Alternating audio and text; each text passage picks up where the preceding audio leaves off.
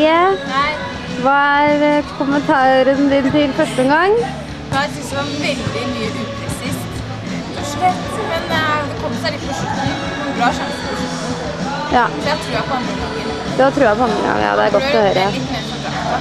Hva sa du? Det var blø litt mer for drakta. Ja. Men jeg tror på en veldig god andre gang. Bra nå.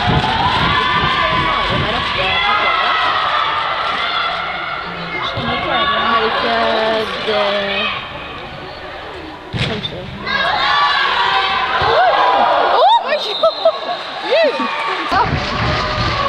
Jeg pleier ikke å være noe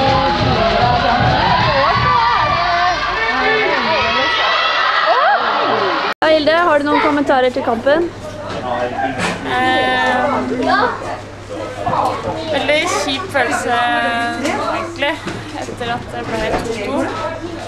Eh, 0-0 etter første omgang, det syns jeg vi var langt under pari. Eh, lite engasjement og lite prat. eh.